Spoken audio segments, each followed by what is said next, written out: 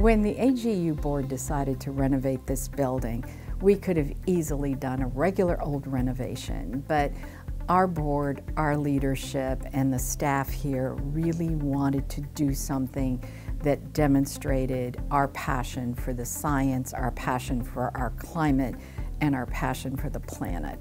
So the idea was to strive for a net zero energy consumption building, which we're very excited about the possibilities, but there was much more to it than that. So recycling, reusing, and repurposing every part of that building became critically important to us we are using just about everything, unique or not, is going to be repurposed for this building.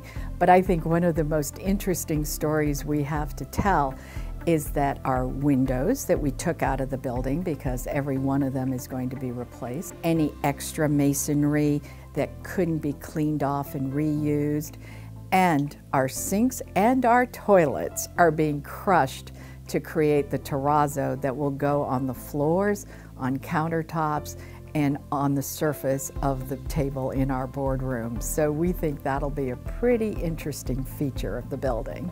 So we were able to clean off and salvage 5,000 bricks as we were doing the demolition of the building. And we're using them now to replace the gaps in the buildings and fill in where we have to patch things up uh, because of the construction. So 5,000 bricks is pretty significant. Plus, when it comes to construction waste, we've been able to divert more than 90% of the construction waste from landfills. So it's being recycled, reused, um, taken up in other uh, construction projects wherever it makes sense. One of the interesting stories about the recycling is that when you're going to vacate a building and really take it back to the studs in order to renovate it, there's a lot of stuff in there. And so we really didn't know what to do with it, but it occurred to us that DC Public Schools could use the furniture. They could use some of the office equipment and office supplies that we were not going to be able to use in our new space or when we moved back.